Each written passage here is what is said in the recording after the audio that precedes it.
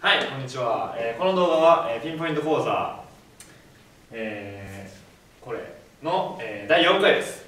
で、今回ですね、これですね、えー三角方程式が前回で一応終わりましたので、今回から三角不等式っていうのをね、やっていきたいと思います。はい、で、最初ね、えー第4回ということで、まず三角不等式ってどんなものなのかっていうのをね、この動画でさらっとおさらいしてから、えー次回実際の、えー三角不等式の解き方をやっていきたいと思います。はい。で、えー前回不等式をやって次あの違う前回方程式をやって次回今回不等式をやるんですけども、まあそもそもねあのよくある流れですよね。二次方程式をやって二次不等式をやるっていうねそれと一緒です。はい。でまず三角不等式っていうのをやるにあたって、えーまず不等式って何なのかっていうのをちょっと考えてみたいなと思うんですけども。じゃあまず例題ですね。例題やっていきましょう。例題。これですね。これいわゆる一次不等式。一次不等式ってやつなんですけど、これ解けてやりました。で、解けますよね。これは解けると思います。まあちょっと具体的にやってみると、まあ、えーマイナス1っていうのに移行して、こうなりますよね。で、えー2で両辺あります。で、2っていうのは、えー正なので、等の向きは必ずこういうふうになると。で、これが解です。はい。これでいいんですよ。じゃあこれ何を言ってるかって言ったら、2x マイナス1っていうのが3より小さくなるような x を教えてくれと言われてるんですね。でもちろん 2x マイナス1が3より小さくなるような x っていうのはいっぱいありますよね。例えば0でもいいし、1でもいいしっていっぱいあるから、答えとしては x イコールなんちゃらってバーンって定まるんじゃなくて、こっちもね、不等式と同じ形、不等式と同じ形、まあ、つまり範囲として定まります。なこんな範囲に x だったら、こいつを満たしますよ。で、これが解なんですね。OK ですか？で、これはね、あの計算としてはね、多分みんな慣れてるからすぐできるんだけど、まあそもそもこの不等式を解くって作業が、どんな概念のこと行われているのかっていうのをちょっとグラフを交えて、グラフを交えてやってみたいと思います。はい。ということで、まあ、これはね、実は三角方程式の時にも全くここがイコールになってるやつをやったので、あの覚えてる人もいると思うんですけど、ちょっとグラフをね、まず書いてみたいと思います。で、まずこの不等式を書くにあたって、まず、えー左辺を y ときますね。左辺を、えー y。で、右辺も y ときましょう。前回やりましたね。これ一応置きます。で、えー座標平面書いて、x、y。で、で、えーまず、マイナス1っていう式を書きたいと思います。っていうのはどうなるかっていうと、そうですね。こんな感じ。いいですか？まず、ここがマイナス1で、マイナス1で、ここに2分の1。こうですね。ちょっと細かいですけど、いいですか？まあ、わかりますよね。はい。で、えー、ついでに y イコール3も書きますが、この辺で、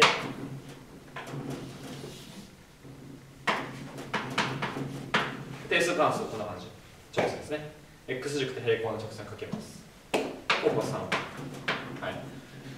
で、えー方程式の時に全く同じ図を書いて説明したんですけど方程式の解っていうのはこれらを同時に満たす x 座標を求めるってことだからこのグラフの交点の x 座標を取ればよかったですよね。ね。でこの場合交点っていうのはえー2です。2の時に、えーこっちが4マイナス1で3になってこっちも3で交点を持ちます。だからもし、えー 2x-1 イコール3っていう方程式をグラフを用いて解くんだったら x イコール3で答えがいいんですね。で今何をしてるかっていうと今問題として考えているのは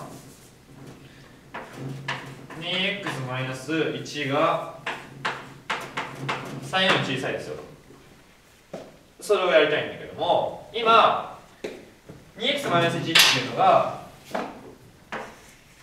このグラフですね。で3っていうのがこっちのグラフ。でこの3っていうのより 2x-1 が小さいところを教えてくれと言ってるんですよね。それってまあグラフ見たらちょっと視覚的に分かりますよね。イメージとしては直線が2本あるんだけどもこっちの y イコール3っていう直線が、えー、y イコール 2x-1 より上になってる部分を教えてくれって言われてるんですよ。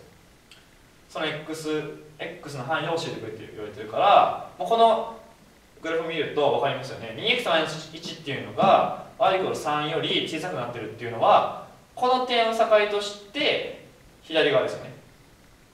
3より小さい。こっちは3より 2x の数字が大きくなってる。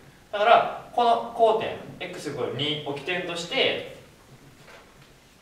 ここを起点としてこれより小さいところ。ここ。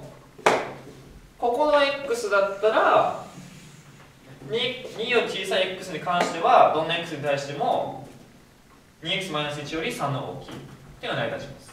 だから答えとして x っていうのは2より小さいですこれられます。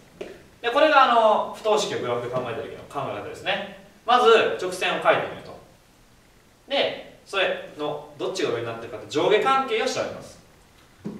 でどっちがその上下関係を満たす部分を調べるんだけどそのためにはまず交点を求めなきゃいけない。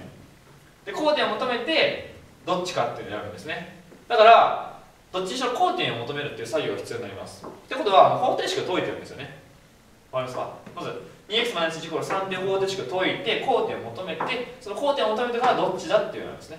はい。だから案に、えー、方程式を解けることが前提です。はい。そしたらいいでしょうかね。で方程式の次に不等式の、えー、内容を若干おさらいしたところで次それをね三角関数に適用してみたいんですけども、まあ、例としてちょっとこんなものを考え考えてみたいと思います、はい、でこれを、まあ、全く同じように解いてもいいんですけれどもまずね一般形っていうのが存在してちょっと解きやすい形に変えたいんですけれどもこれは、まあ、両方辺を2で割りましょう。2で割ると sinx っていうのが2分のルート3になります。はい、でここでさっきと全く同じことをしますね。というのも左辺も y といきます。3x で右辺も y といきます。2分のルートでこのグラフを書いて交点を求めてどっちが上かどっちが下かっていうのをやればいいんですよね。全く同じです。はいなので書いてみたいんですが。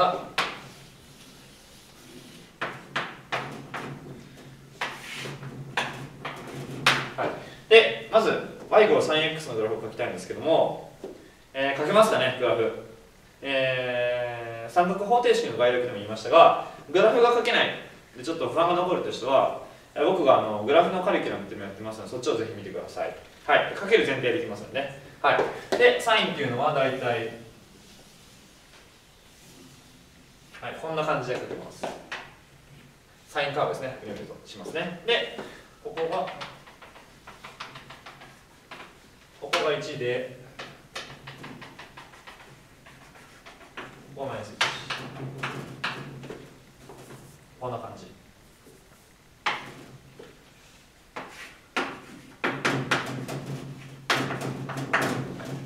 で次にやることっていうのは y イコール2分のルート3の式を書くんですけれども2分のルート3って大体の数分かりますよね。これ毎回やってますが、えー、1.73ぐらいなので、まあ、0.86で0.5ぐらいですよね。なのでこれを式で書くと1よりちょっと下の部分にピンクでいきますね。黄色でいこう。ピンピンクでピンクで、はい、ここら辺。ここら辺に y イコール2分のルート3っていう直線があります。で交点が欲しいんですね。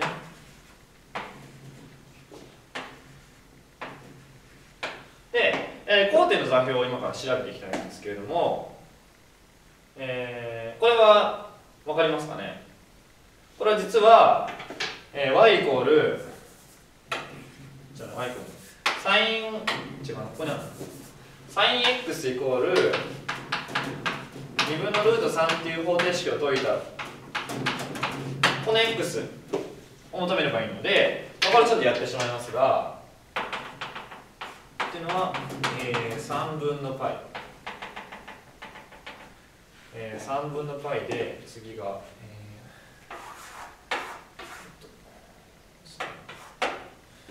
えー、3 3分の 2π パイ一応ここパイで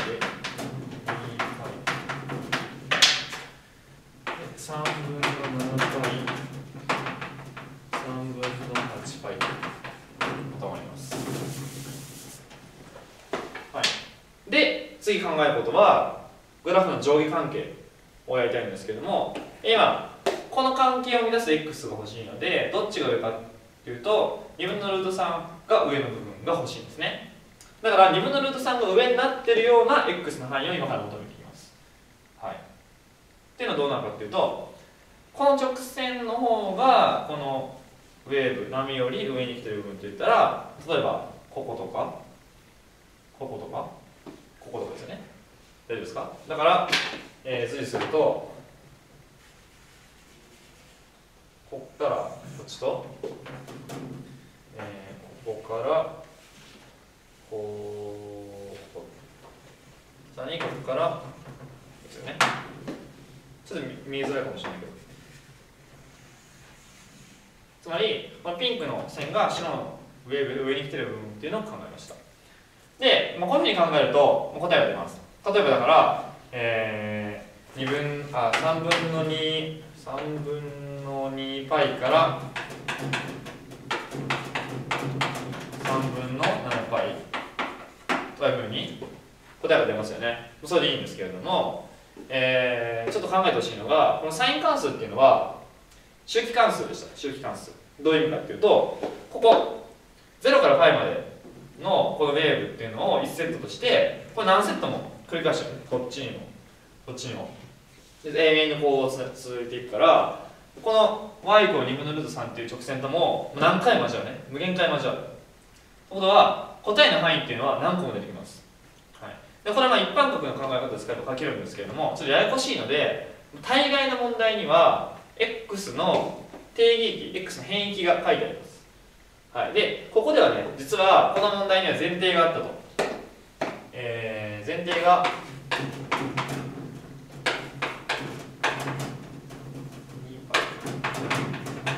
こういうふうに前提があったと。